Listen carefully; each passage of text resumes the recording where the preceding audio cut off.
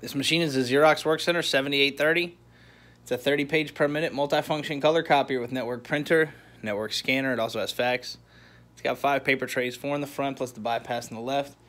Comes to us with 29,000 total color copies and 33,000 total black and white. As you can see here in our counter. All right, now we're going to go ahead and run a few test copies to show the color quality in this machine. It's our color copy test chart.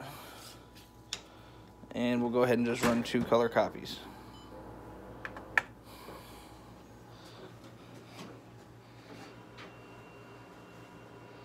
And this machine is 30 pages per minute color and black and white.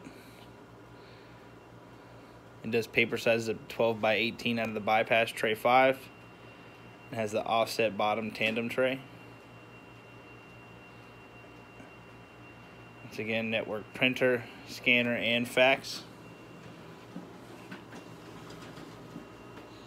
The finisher option is available for this machine upon request. All right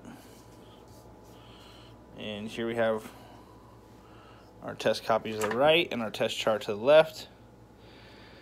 And as you can see, a good color image on this machine.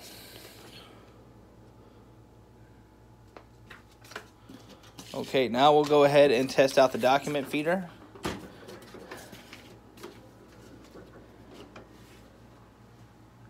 And we'll also check, or test out, sorry, the duplexing feature. This feature allows the machine to do double-sided copies and prints. Run that through once. All right, there's our feeder working properly. And once again, this is a Xerox WorkCentre 7830. It's a 30 page per minute multi-function color copier with network printer, network scanner. It also has fax. Sorry, I was asking for a paper size. We're going to run that through again.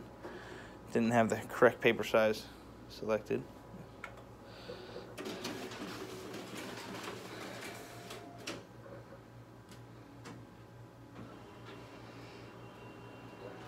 And it comes to us with only 29,000 total color copies and 33,000 total black and white. Network printer, scanner, and fax. And here we have our test copies double-sided through the document feed.